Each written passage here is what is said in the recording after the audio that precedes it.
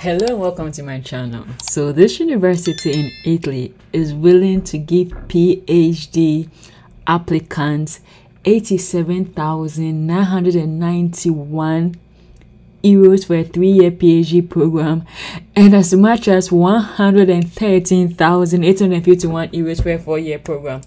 It's like it's right here on the screen. Like when I came across it, I, I didn't believe it. I wasn't sure. So I actually had to go to Google to actually convert that into my currency. I can't even pronounce this amount. And let's look at it in. Let's just let's look at how much this cost in Naira. Um, Naira, where's Naira?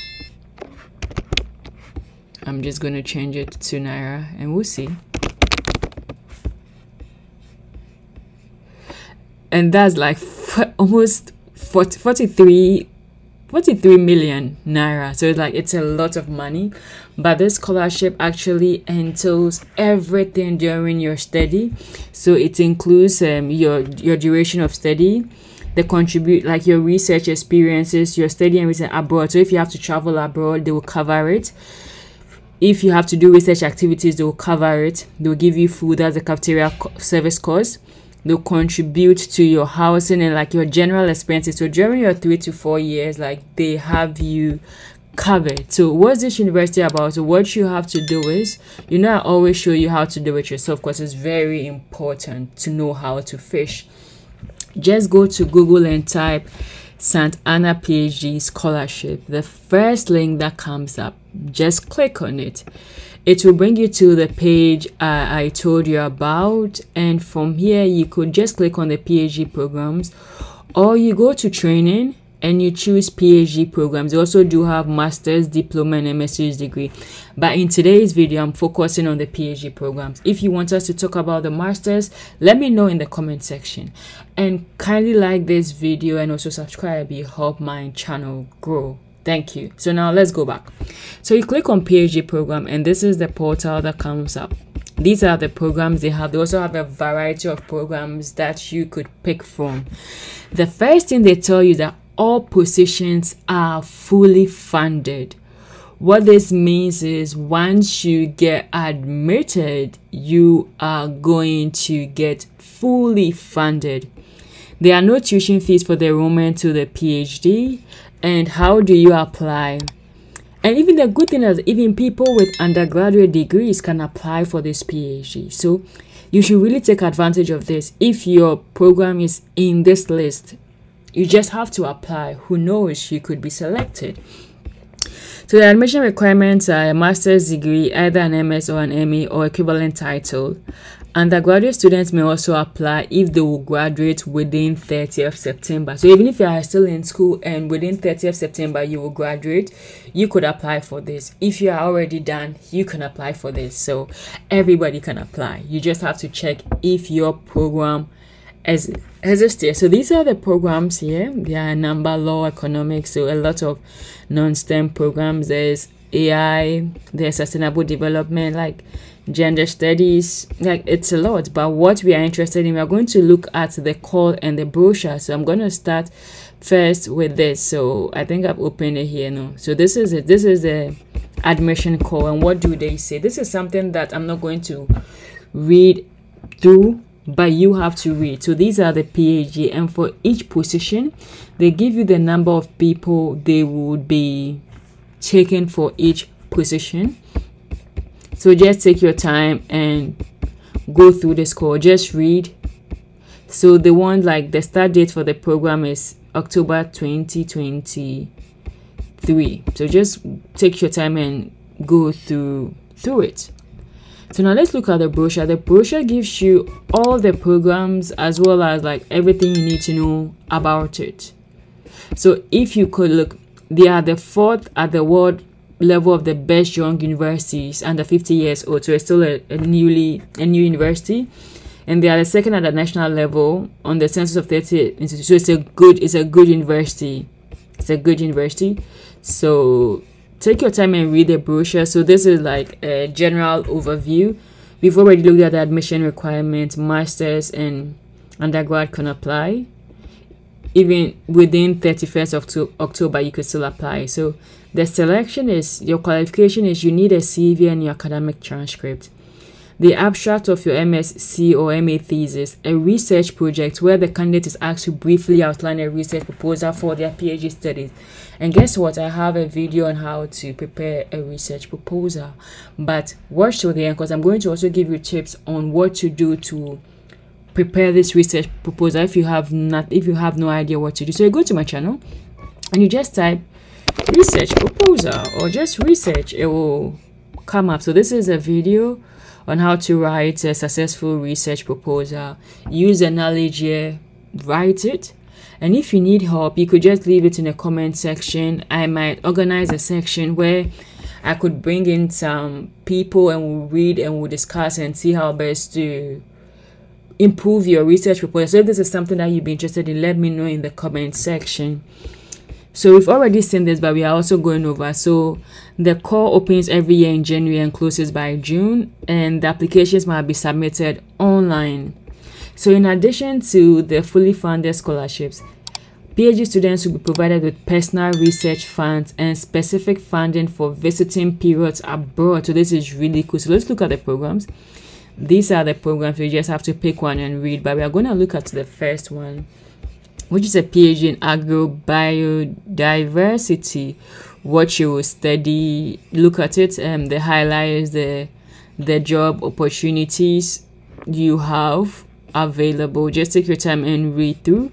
And to get to know more about the program you can scan this. But to make it easier just copy this phd in agro biodiversity we have it here.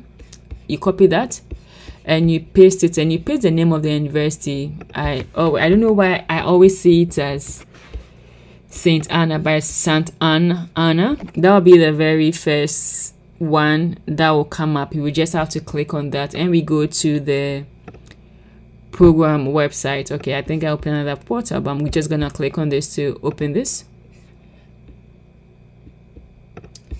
So this is the program of it. Please take your time and read. It's very important. Like if you really want to increase your chances, you need to take your time and read and pick things to help improve your application. So let's look at the application. So for this program, the deadline is May 31st, 2023 at 12 p.m. We still have some time to prepare our document and to increase our chances. So these are the curriculum they have. Here are examples of some research areas targeted by the PhD program. So you have to use these areas to actually write your research proposal. This will increase your chances to look at the research gap in these areas and prepare something for them. And it doesn't have to be really long, really. So they have five positions, and uh, the, this is when it's going to start. Now that this is where the tips start. So this is the first tip. Prepare your research in this area. The second thing is you look at the you could also look at the faculty board. They have their series. You could just download one of them. This will give you an idea of also how to structure your cv so with the cv it's always the europass cv because it's in europe. So you go back to my channel and you type europass this is it. Uses idea to prepare your cv so as you could see they have the Europass cv and like their work so use this idea. Very simple. Look at um, how they they explain what they have done. So take a number of them use that idea so there was this um, let's just choose another person use that idea from their cv to also structure structure yours. So this is the personal data, work experience, scientific activity. As you could see, it's nothing shows or nothing um, that you cannot do. So look at it and structure. Yeah, so that is um, tip number two. Tip number three, go to the PhD students. Look at the people who have gotten the scholarship.